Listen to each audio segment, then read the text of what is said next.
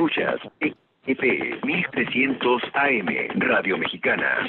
Nuestras noticias. 40.000 watts de potencia, transmitiendo desde Avenida Vicente Guerrero 2329. Colonia Partido Romero, Ciudad Juárez, Chihuahua, Radio Mexicana. Nuestras noticias. Una estación de Radiorama. Radio Mexicana, nuestras noticias, presenta.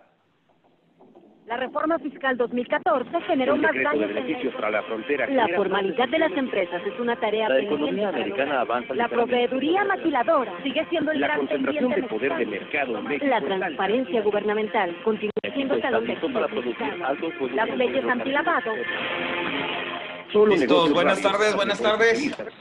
Ya estamos al aire. Adecuada. Como todos los, correo electrónico. Correo. como todos los lunes, estamos nuevamente transmitiendo en Sol para. Solo Negocios- Solo. Negocios Radio a través del 1300 de AM y a través de las redes sociales de Solo Negocios, la página de Arroba 1300 solo negocio. Y recuerde, no es nada personal, son estamos solo compartiendo. negocios. y estamos, eh, como cada lunes, platicando un poco de las reformas, de los aspectos fiscales, de los aspectos que pueden eh, afectar directamente a, a las empresas.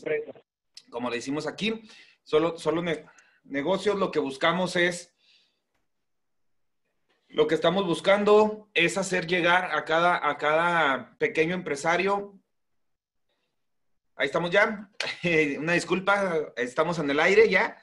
Eh, buenas tardes a todos. Andamos aquí un poquito eh, todavía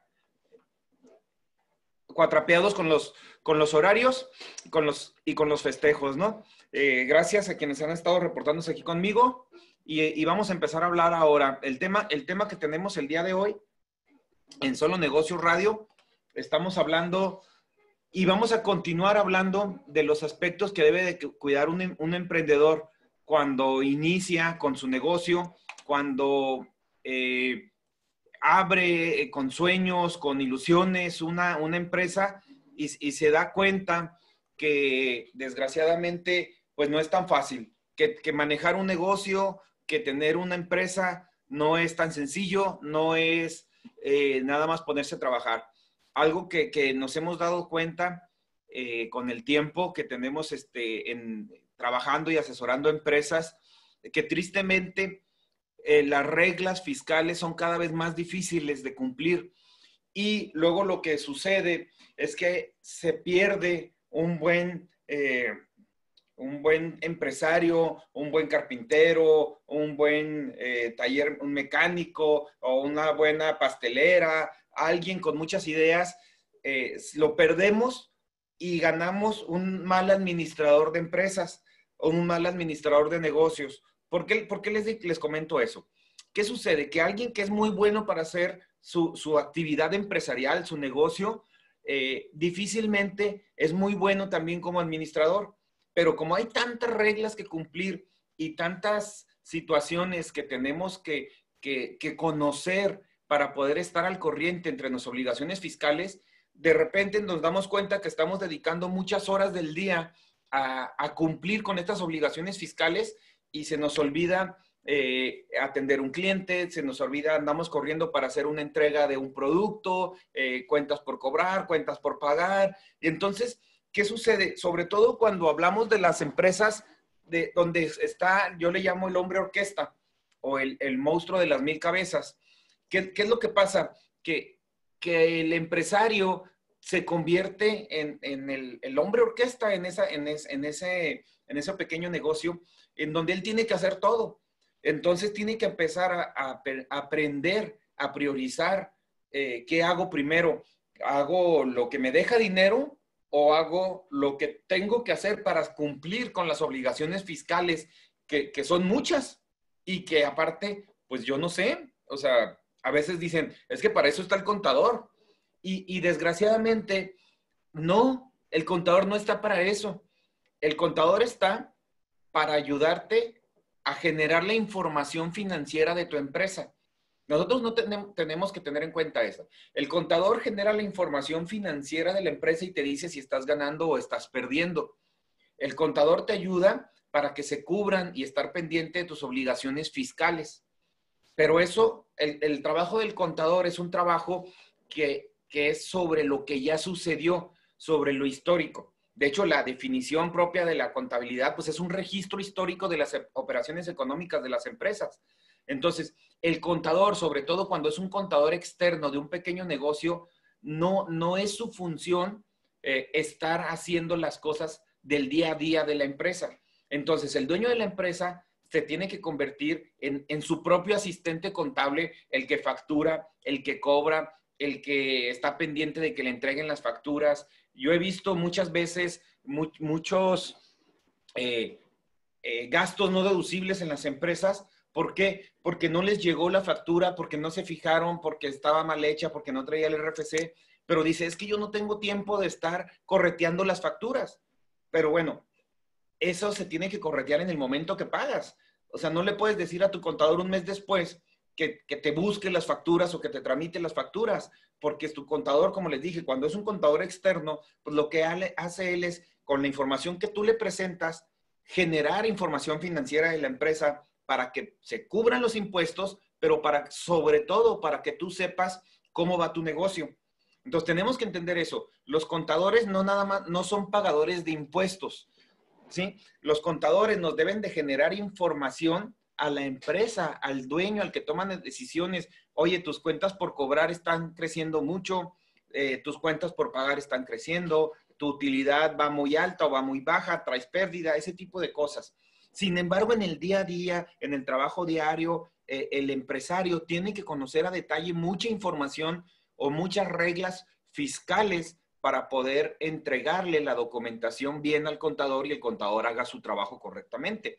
Y es ahí donde estamos teniendo muchos problemas porque las autoridades insisten, y lo vemos en, la, en el proyecto de reformas que están haciendo para el próximo 2021, en donde las autoridades insisten en, cargarle más la mano eh, con el cumplimiento de obligaciones, más requisitos, la autoridad se está dando más atribuciones de revisiones, en donde tenemos que estar bien pendientes de todo lo que hacemos, porque es fácil poner un negocio, lo difícil es mantenerlo al corriente en todo lo, que, estamos trabajando. Entonces, eh, eso es lo que quiero platicar con ustedes o quiero continuar platicando en esta serie de programas que hemos estado haciendo las, últimas, los últimos lunes, en donde estoy enfocándome en decirles qué tienen que cuidar como empresarios. Y, voy a recapitular un poquito, porque si no lo hacemos, si no lo cuidamos, si no lo, eh, lo en su momento se nos puede convertir como en esa bola de nieve de las caricaturas que va creciendo, va creciendo y los problemas que se pueden, que se vienen a futuro van a ser mayores que los que, los que tenemos ahorita. Y lo hemos estado viendo cómo la autoridad va tras las multas. Hay, hay, hay contribuyentes, sobre todo negocios pequeños, que pagan poquitos impuestos, pero el no hacerlo bien, el no hacerlo en tiempo, el estarlo haciendo de fuera, les origina multas. Y a veces las multas son más altas que los propios impuestos nos hemos dado cuenta que hay empresas en donde a veces las multas, eh, pues, eh, es lo doble, lo triple de los impuestos. Es más, a veces ni siquiera hay impuestos a pagar, pero el no hacer la declaración en tiempo, el no presentarla a las autoridades en tiempo, pues nos origina sanciones y esas sanciones pues no son económicas. Por ejemplo, tenemos que estar pendientes las empresas de presentar la declaración informativa de operaciones con terceros, eh, la famosa DIOT. Muchos, muchos de ustedes dicen, ¿y eso qué es? Pues eso es el contador, lo hace, sí, efectivamente lo hace el contador, pero a veces no se presentan.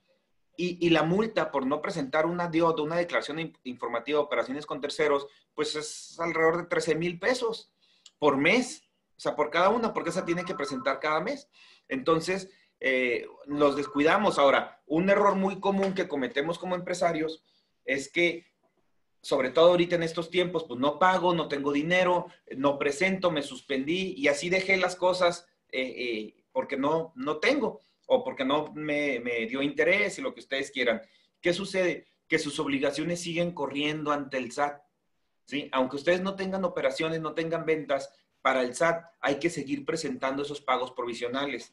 Por ejemplo, es importante saber que una persona moral se puede suspender por dos años, pero después se tiene que volver a reactivar el SAT automáticamente la va a reactivar. Entonces no puede suceder que una persona se, se, suspenda eternamente una persona moral tiene que disolverle, disolverse, tiene que pasar por ese proceso de disolución de la persona moral en donde se, cancelan todas, todos los activos y pasivos que tiene la empresa y se regresa el, capital con ganancia o con pérdida a los accionistas. Y es un proceso que lo tenemos que hacer. Desgraciadamente en la práctica muchas empresas no lo hacen, muchas empresas eh, se suspenden y piensan que esa suspensión va a ser para toda la vida y, me ha pasado eh, que de repente ya los socios ya no se encuentran, se pelearon, eh, se fueron a vivir a otro lado, algunos fallecieron y la persona moral ahí está de oquis. Entonces tienen que tener mucho cuidado con eso, porque el no disolver la sociedad y dejarla que esté, eh, puede estar generando obligaciones sin presentar y cada una de esas obligaciones sin presentar, pues puede estar generando sanciones, puede estar presentando multas.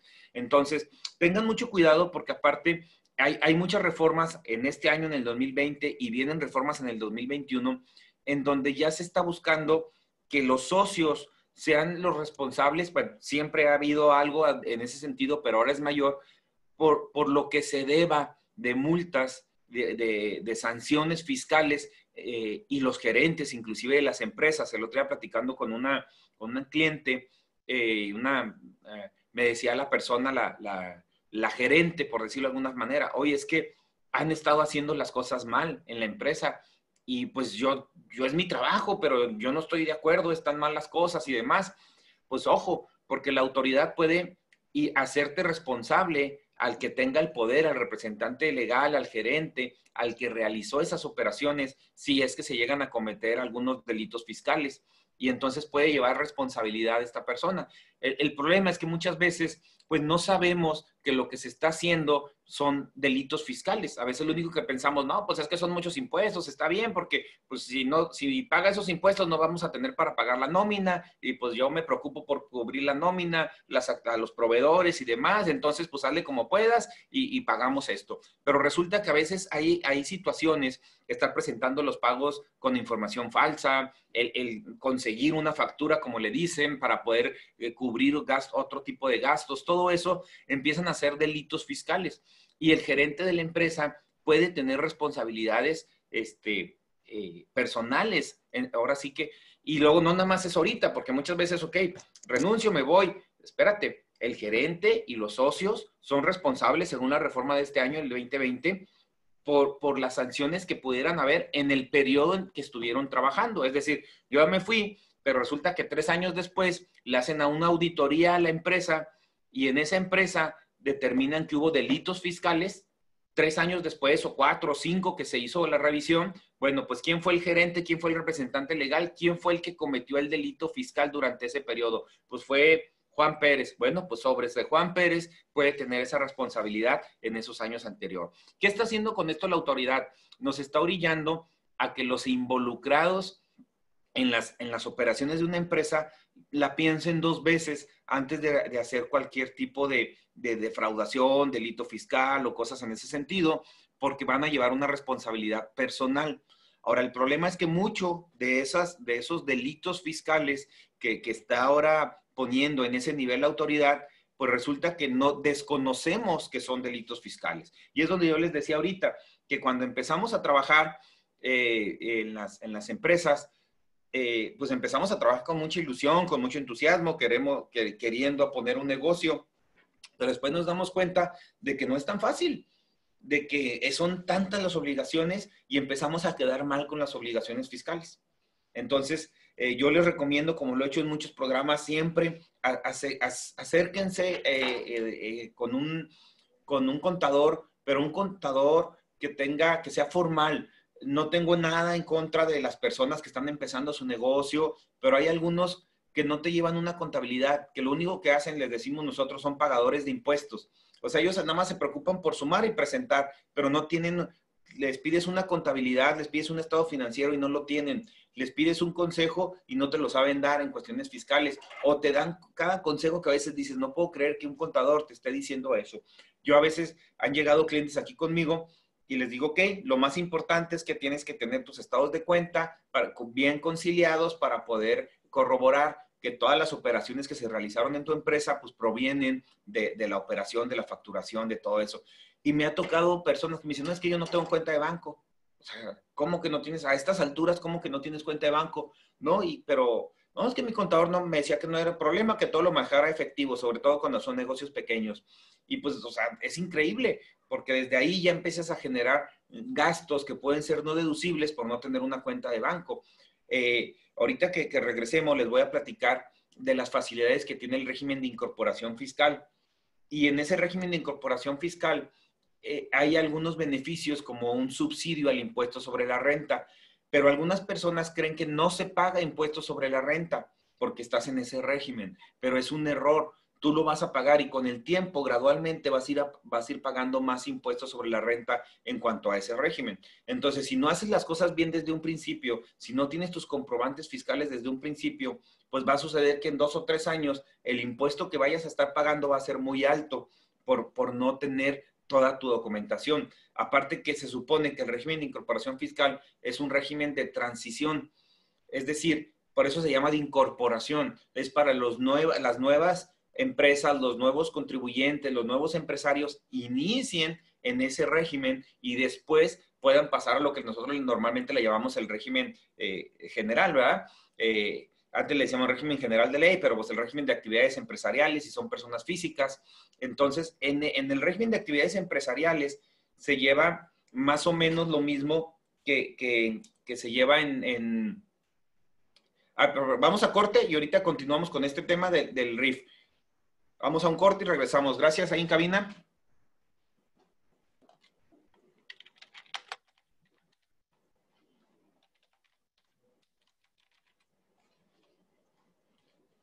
Okidoki, estamos en, en corte y regresamos.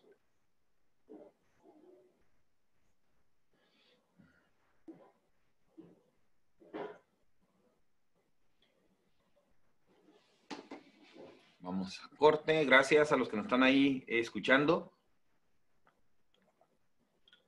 en las redes sociales.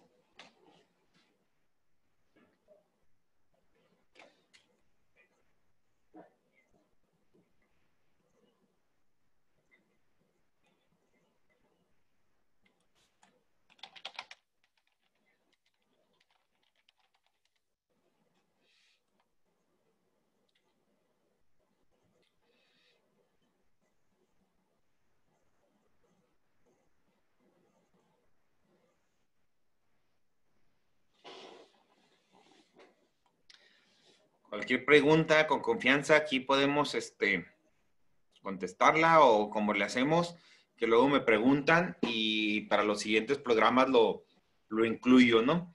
En, lo, en los temas de, del programa.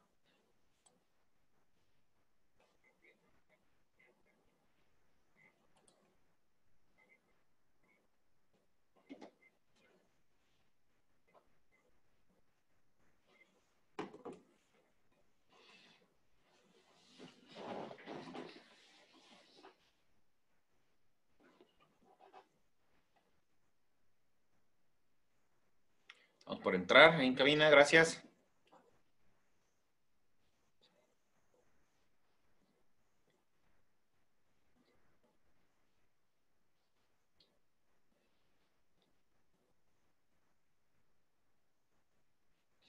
Listo, buenas tardes. Estamos de nuevo al aire.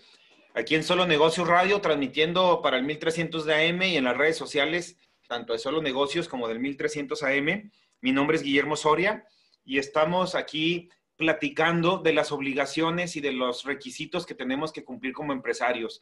Eh, he querido dedicar esta serie de programas precisamente a, tratar de ayudarles a que conozcan eh, todas las obligaciones que tienen que, cumplir eh, como empresarios y, principalmente, como dicen, el, que desconozcas que tienes que cumplir con una obligación no te exime de, ella. Entonces, el, desconocer las leyes y tus obligaciones fiscales, pues no te exime de, estas obligaciones fiscales.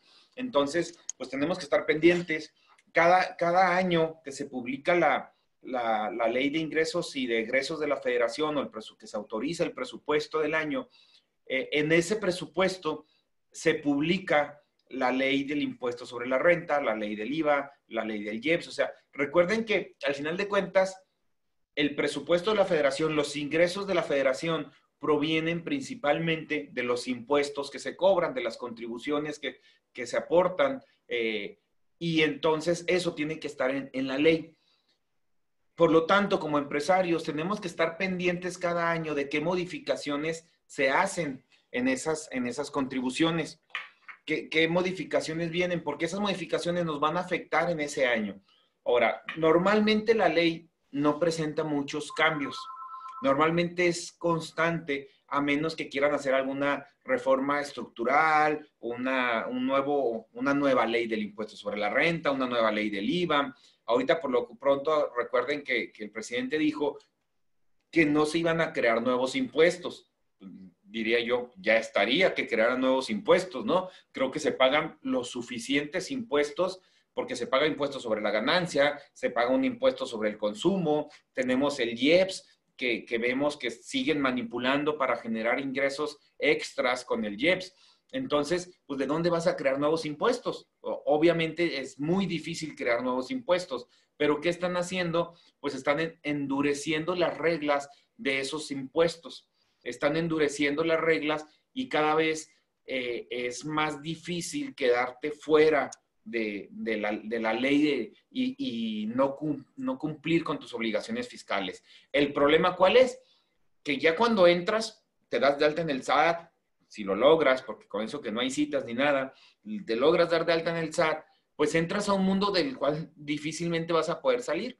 Entonces, mucha gente pues prefiere todavía quedarse fuera, no darse de alta, trabajar sin emitir facturas, sin declarar ingresos, sin cosas en ese sentido, y dicen, yo prefiero hacer eso para no tener que pagar. Sin embargo, cada vez es más difícil.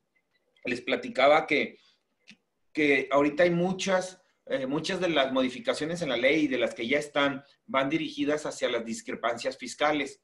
¿Cuáles son las discrepancias fiscales? Pues que te detecten gastos mayores a tus ingresos declarados, ¿sí? O gastos inclusive, no nada más mayores, o sea, si no declaras ingresos, pues ahora sí que tus depósitos en, una cuenta bancaria, compras de un vehículo, compra de una casa, se van a convertir en una discrepancia fiscal. Porque ¿cómo es posible que una persona que no está declarando ingresos pueda realizar ese tipo de gastos?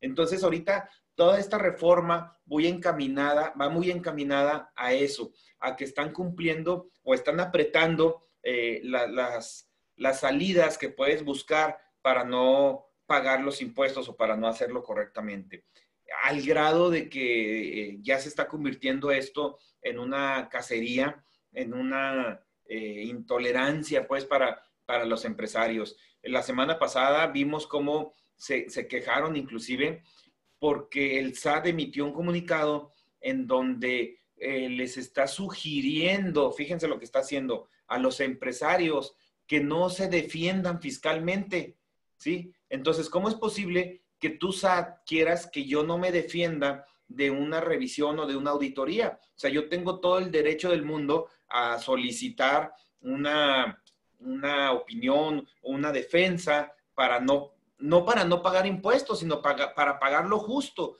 para pagar lo que se tiene que pagar. Este, y si cometí un error y hay infracciones, pues tengo que buscar la manera que esas infracciones sean lo menos posible. Oye, si un delincuente, un asaltante, un asesino, eh, un, narcotraficante se defiende y prescriben sus delitos, ¿por qué el, que yo me haya equivocado y haya pagado menos impuestos? Pues también tengo todo el derecho del mundo a, defenderme. Entonces, ¿cómo es posible que el SAT haya hecho un comunicado diciéndole a los empresarios que eviten eh, acudir a despachos de fiscalistas para que los asesoren y se defiendan, ¿no? Entonces yo creo que son criterios que, pues están mal porque si está en la ley es permitido. O sea, si la ley dice que yo puedo aplicar un beneficio, pues lo puedo aplicar. Ahora, si no lo aplico por desconocimiento, pues eso no hace que el que sí lo conoce y lo aplique esté cometiendo un delito o esté abusando. Por algo lo pusieron.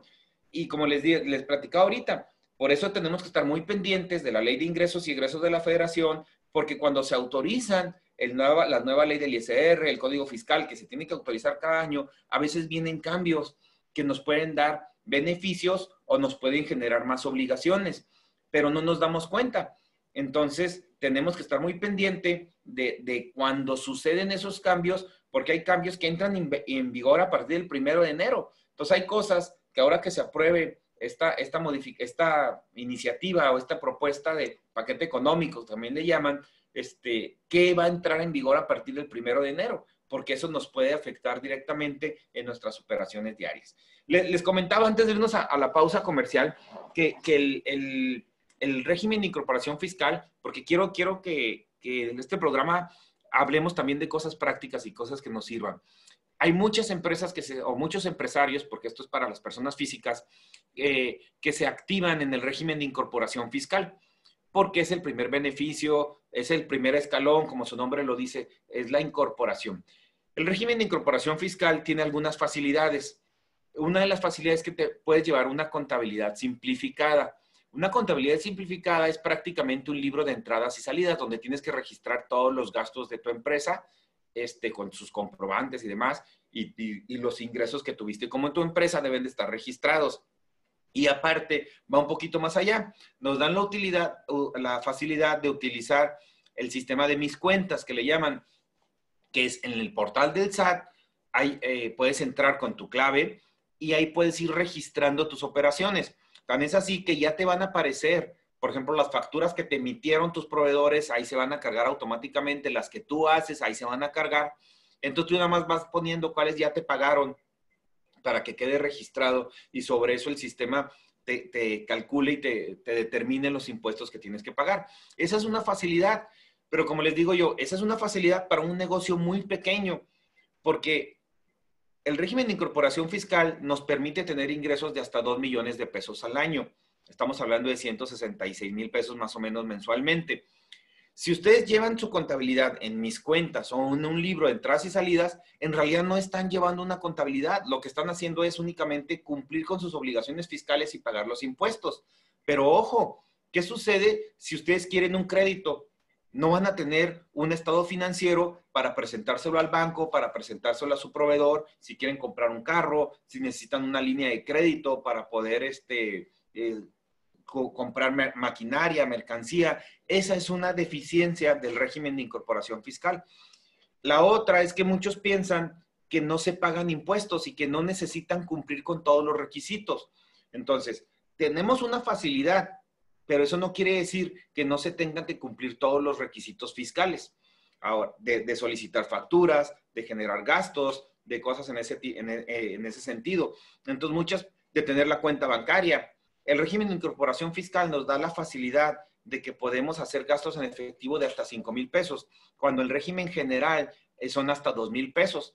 ¿Por qué nos dan esa facilidad? Bueno, pues imagínense que ustedes son la persona que se dio de alta en un negocio y, que, en un, em, que diste de alta tu negocio, pero tú eres el que lo atiendes. Entonces, tienes que estar yendo a depositar, sobre todo si realizas ventas en efectivo. Imagínate, tienes que ir a depositar el efectivo, estar en el banco, hacer otras operaciones para poder estar haciendo pagos con tu tarjeta de débito, con tu chequera, transferencias y demás.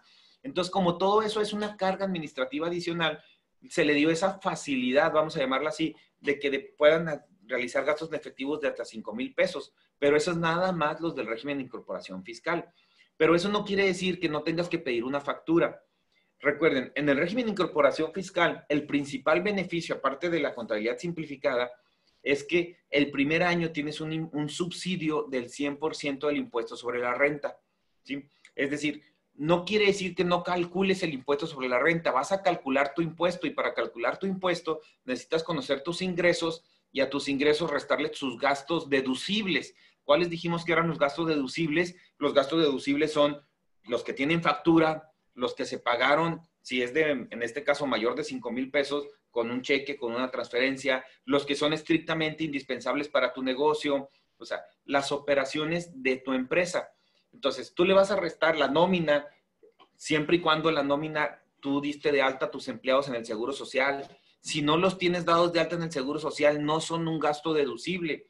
O si les pagas una diferencia fuera de lo que le pagas por el Seguro Social, tampoco son un gasto deducible. Entonces, sobre esa base es donde se calcula el impuesto y ahí es donde viene un subsidio que el primer año es del 100%, es decir, no pagas impuestos sobre la renta. Pero vamos a, un corte y ahorita les platico qué va a pasar los siguientes años o cómo se va a ir formando esta parte. Vamos a un corte, gracias en cabina y ahorita regresamos con esto.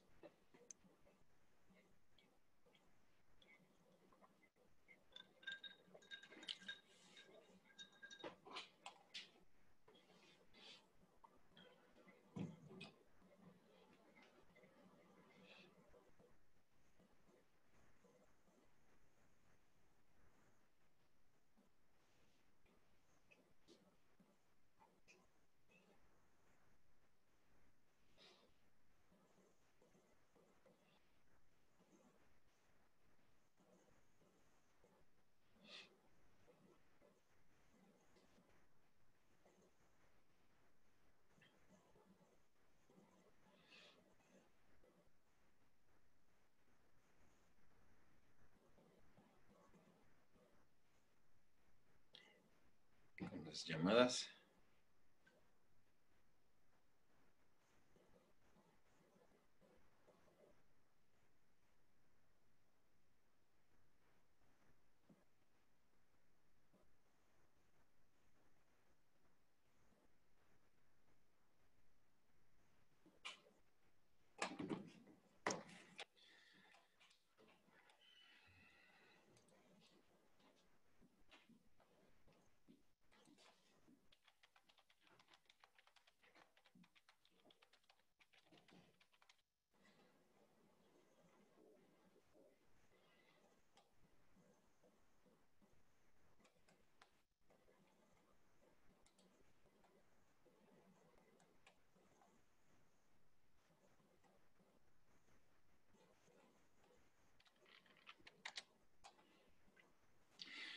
Listo, estamos al aire nuevamente. Buenas tardes, estamos en nuestro tercer segmento.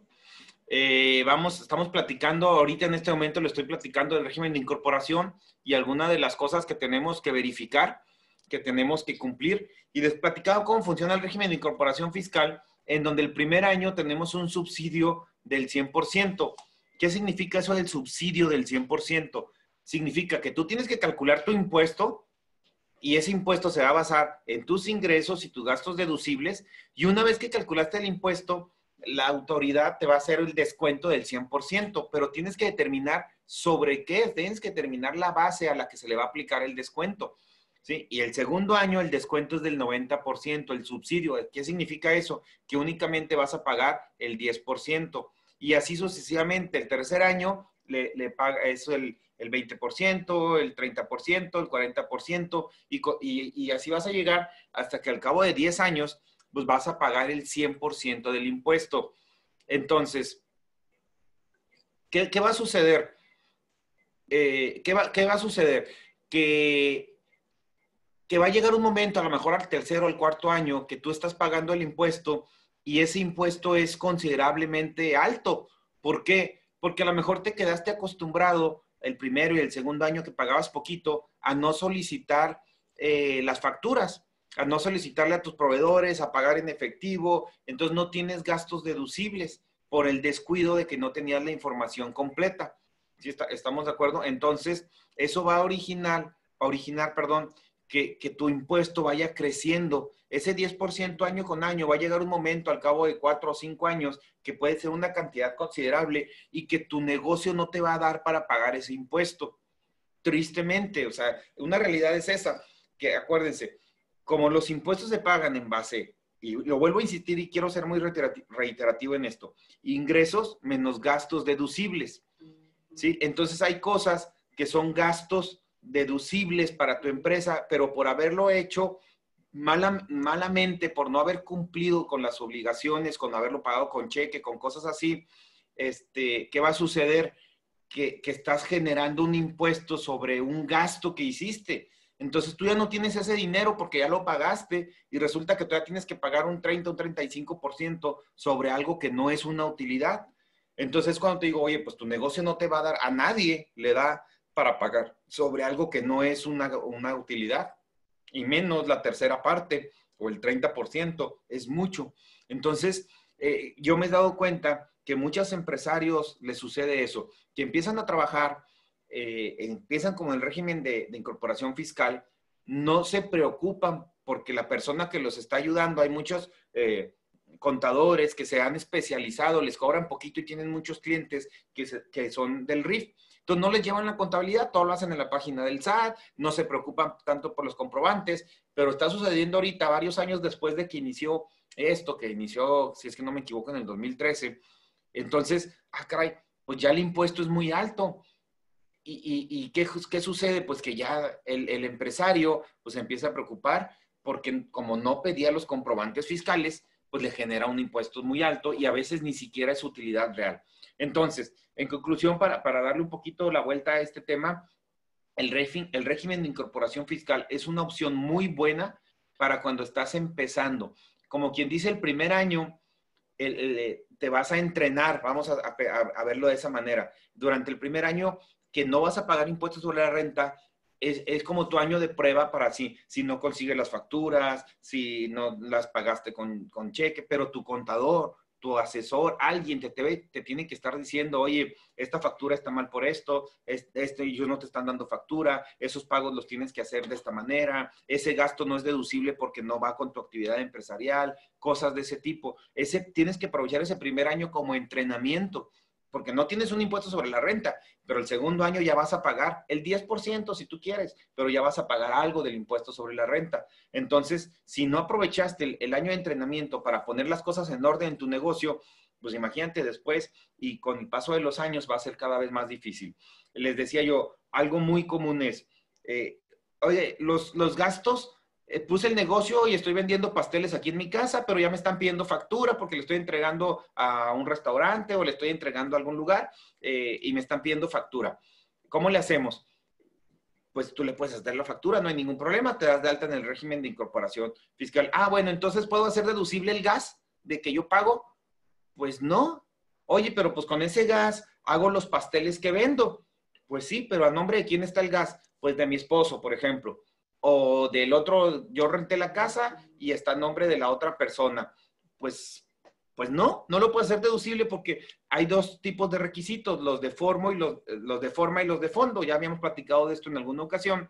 Y en, y en los de forma, pues el, el, recibo del gas tiene que estar a tu nombre, ¿sí? Tiene que estar a tu nombre, pero no nada más a tu nombre, tiene que traer tu RFC.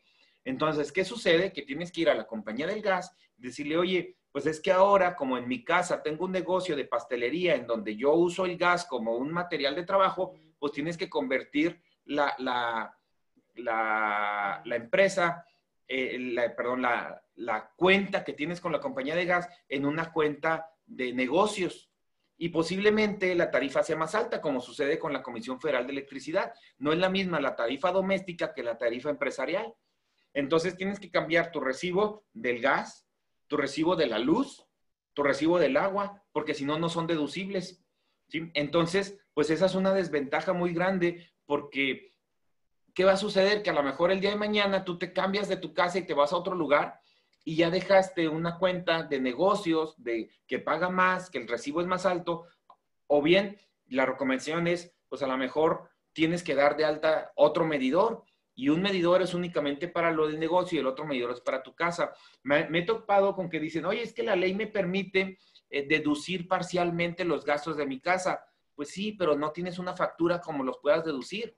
Y tú necesitas comprobarle al SAT con una factura que está tu nombre y que tú pagaste. ¿Cuántos los requisitos de, de forma y de fondo? De fondo sí puedo deducir parcialmente el recibo del gas porque con ese gas hago los pasteles pero de forma no lo puedo deducir porque no tengo una factura a mi nombre con RFC para que me, permita deducirlo. Entonces es un problema muy grande que, hace, imagínate, tú estás haciendo los pasteles y uno de los costos más altos, pues es el gas.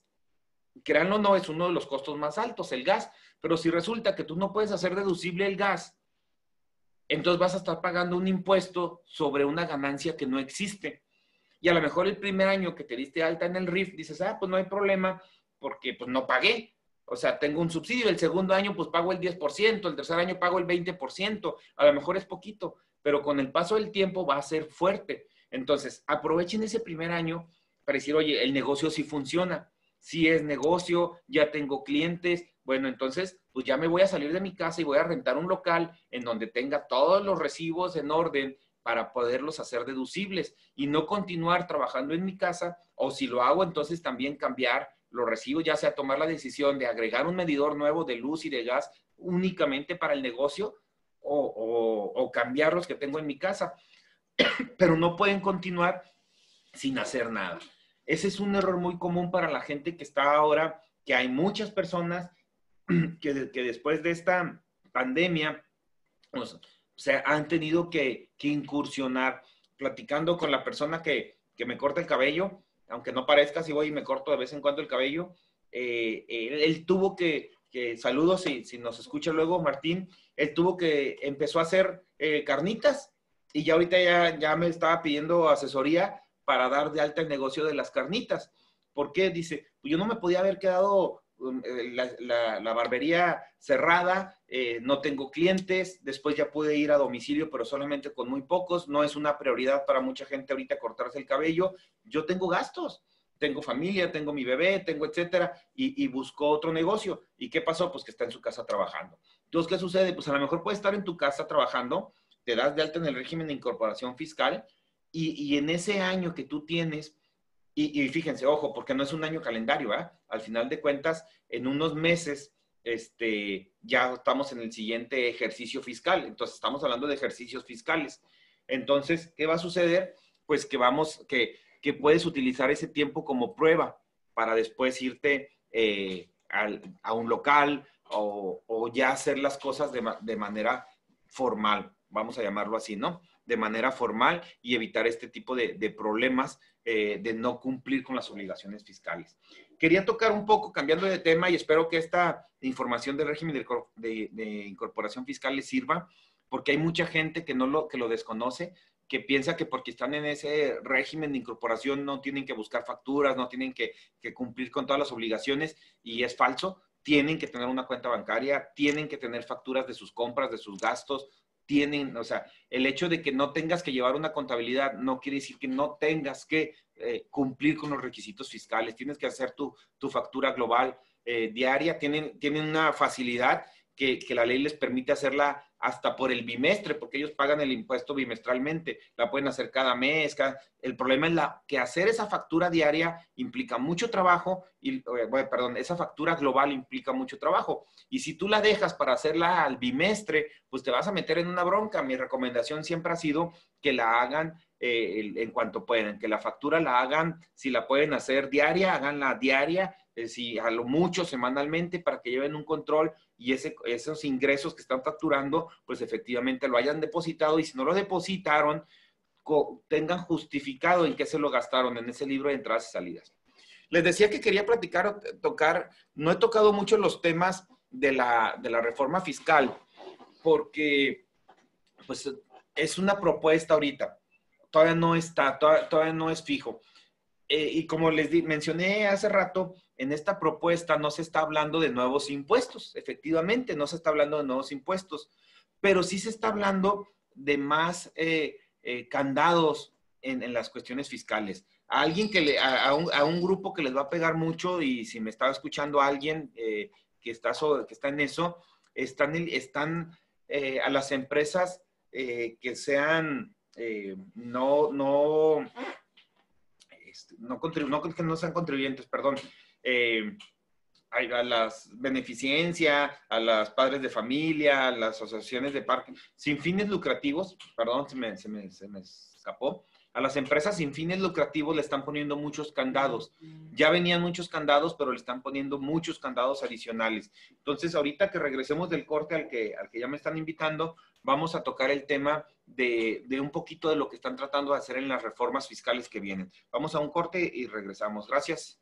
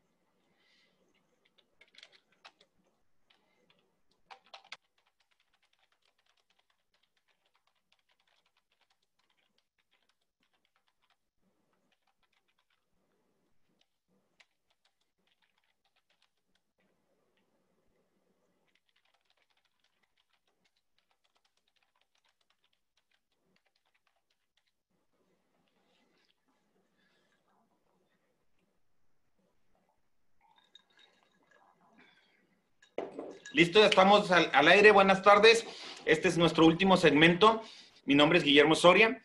Estamos hablando ya en este segmento de las eh, reformas que vienen, que están empezando, eh, bueno, la, iniciativa de ley eh, fiscal para el próximo año, en donde vemos con, con temor, o sea, yo con todos los amigos que he platicado, con todos mis amigos que tienen algún negocio, con mucho temor les digo que el año que entra va a estar muy difícil en la cuestión fiscal, que si ahorita estaba difícil, el año que entra va a estar mucho más difícil, porque cada vez con estas modificaciones que están haciendo a la ley, nos están dejando, eh, perdón, hasta cierto punto indefensos en muchas de las cosas.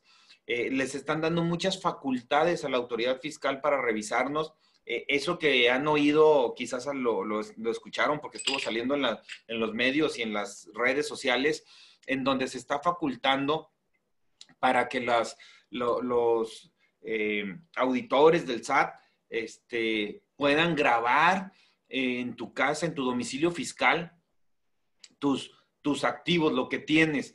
Imagínense ustedes que lleguen, esa persona que estaba hablando ahorita en el segmento anterior, que puso un negocio, que puso una pastelería y que lo está haciendo en su casa y que se dio de alta porque alguien le pedía facturas, pero como les, decía, como les dije al principio del programa, a veces perdemos, en este caso, un buen pastelero o una buena pastelera y, y, y ganamos un mal administrador, ¿no? Entonces, por, esta persona, vamos a suponer, ella sigue haciendo sus pasteles, sigue dedicándose lo suyo y pues no le da mucha importancia a la parte fiscal, llegan, lo requieren para algún pago de impuestos, ¿qué va a suceder? Que pudieran llegar y te pueden este, grabar eh, con su teléfono, con cualquier dispositivo electrónico, grabar qué es lo que tienes en tu negocio. Y entonces, en base a eso, determinar, oye, pues esta persona estas computadoras, esta, este horno, oye, pues es mi casa, pues claro que tengo cosas que, me, que las compré eh, con el fruto de mi trabajo, a lo mejor donde yo estaba antes, durante los años, pero como las vas a tener en tu domicilio fiscal, entonces son fiscalizables. Entonces ellos van a decir, bueno, aquí puede haber una discrepancia fiscal porque esta persona, porque tiene esta pantalla y no la tiene declarada en su, en su contabilidad, o porque tiene, con qué compró estos muebles, todo ese tipo de cosas. Entonces, eso es muy grave. Eh, unos dicen, bueno, pero es tu domicilio fiscal. Sí, pero ¿cuántas personas, muchos contribuyentes, su domicilio fiscal es su casa? ¿Sí? Aún así, cuando tu domicilio fiscal es tu negocio, les platicaba yo, hay un riesgo muy grande y un, y un, error muy grande que se comete cuando cambias de persona física a persona moral y no le vende la persona física o no le transfiere a la persona moral todos sus activos fijos. No cometan ese error, de veras, por favor, no cometan ese error. Si ustedes cambian eh, este, eh, a persona moral, tienen que transmitirle todos sus activos fijos, tienen que facturárselos, tienen, o ante el notario hacer una, un avalúo y, y aportarlos. Porque si no lo hacen, con el paso de los tiempos, esos activos tú los vas a seguir utilizando para trabajar. ¿Sí? Permitan, eh, lo tienes que seguir utilizando para trabajar. ¿Y qué, qué, va a suceder?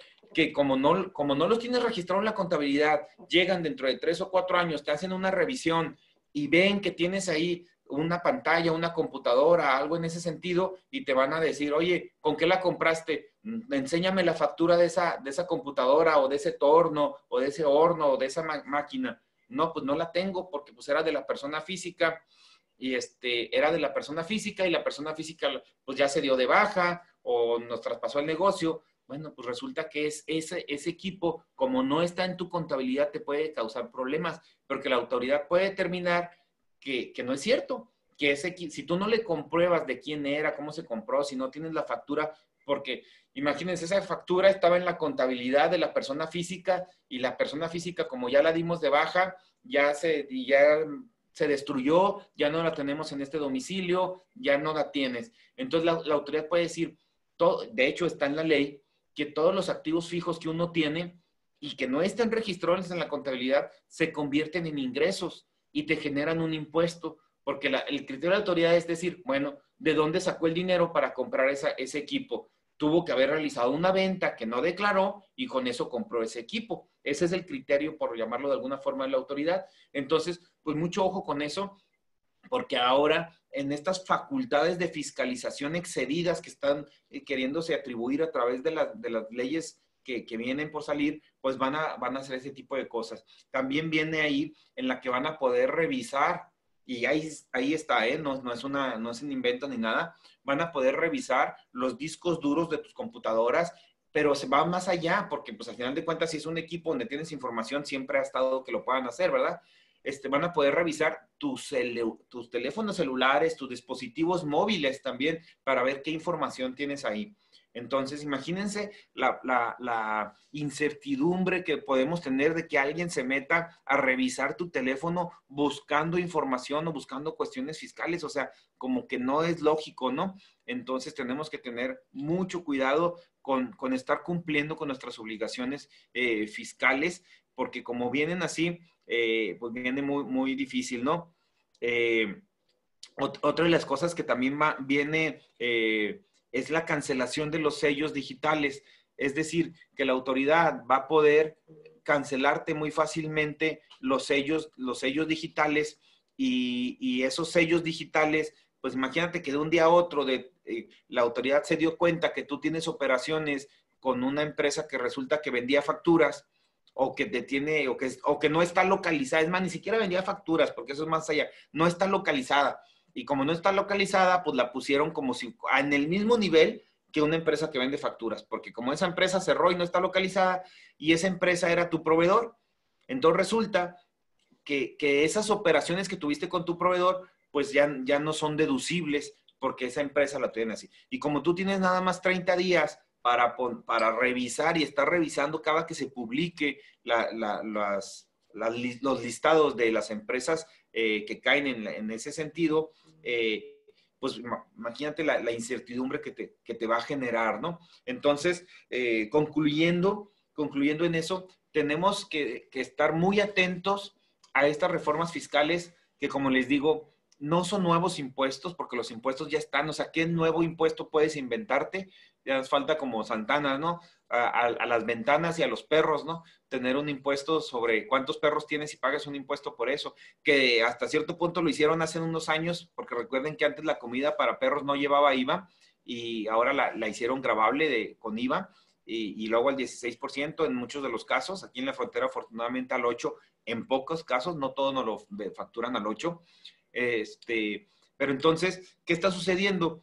Eh, a lo que voy es que no hay nuevos impuestos, pero los impuestos que ya están ahorita, eh, la, autoridad los está exprimiendo. A mí me da mucho temor platicando con, personas de la banca eh, la semana pasada que, que se fue, que, que, hubo el congelamiento de cuentas del presidente municipal y del municipio de Delicias por lo que está sucediendo. Dicen que no tiene nada que ver que protestaron contra las presas, inclusive al gobernador Reyes, eh, Reyes Baeza también le, les cancelaron sus cuentas bancarias. ¿Saben esa medida qué impacto tuvo en los bancos? O sea, fueron millones de dólares los que al día siguiente salieron del país. Mucha gente dice, sí, de seguro se los llevaron ese, se llevaron ese dinero al extranjero porque pues algo deben o de seguro de dónde lo sacaron, ¿no?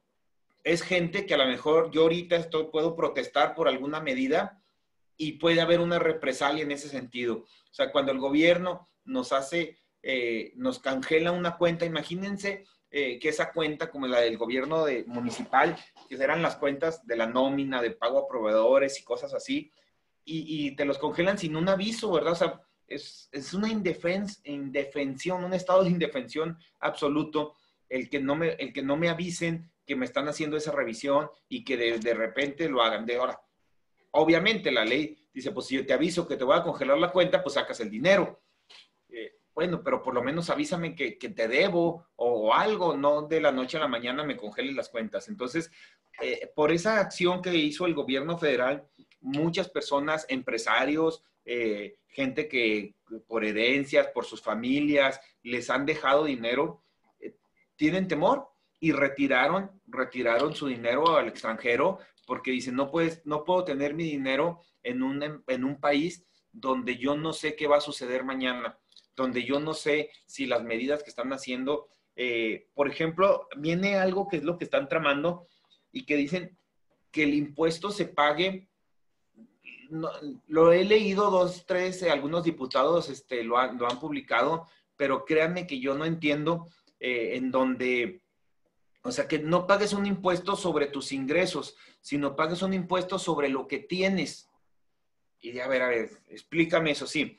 El impuesto sobre la renta se paga conforme vas generando ingresos y riqueza, por eso sobre la renta. Este, vas pagando impuestos. Pero entonces lo que ya tienes ya pagó un impuesto.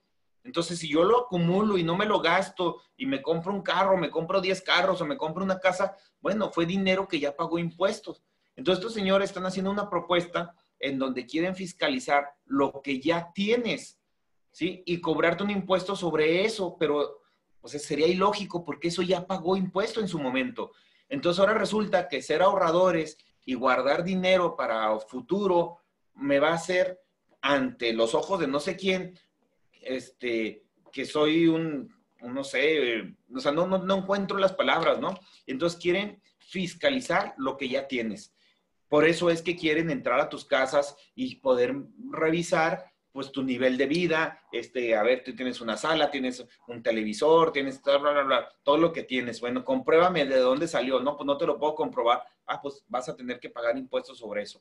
Imagínense, o sea, si hay muchas personas que me lo regalaron, me lo eh, heredaron, eh, lo fui comprando en abonos, mil formas de hacerse de las cosas. Una recomendación muy importante que les quiero hacer antes de, de irnos, ya estamos por terminar el programa, es hagan un expediente de todos sus activos fijos.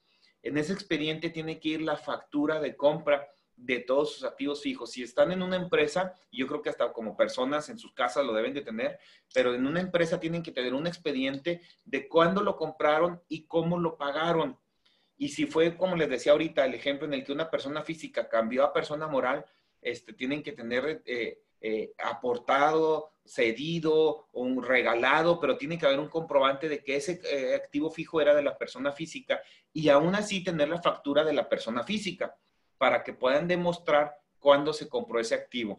Les decía que una de lo primero que hacen cuando te llegan ahorita a revisar es pedirte un listado de todos los activos fijos que tienes y compararlo con, y, te preguntan, te, te, piden que en ese listado tú pongas en qué parte del proceso productivo se utilizan esos activos fijos. ¿Para qué? Porque acuérdense que uno de los requisitos del artículo 69 es que tengas los equipos suficientes para poder, este, para poder ¿cómo se dice? E, elaborar lo que tú haces. Entonces tengan mucho cuidado. Eh, si no tenemos activos fijos, si no tenemos empleados, también caemos en el 69 y nos pueden decir que somos una empresa facturera porque no tienes empleados. Bueno, pues a lo mejor yo tengo muchos hijos y mis hijos son bien chambeadores y me ayudan en el negocio. Entonces, tengan mucho cuidado, estén pendientes de la reforma fiscal, estén pendientes de que se cumplan con todo, no le dejen la tarea al contador porque el contador ya lo va a ver después ustedes en su negocio tienen que estar pendientes de las reformas fiscales. Con esto nos despedimos. Eh, nos vemos la próxima semana y recuerden que esto no es personal, son solo negocios. Hasta luego, mi nombre es Guillermo Soria.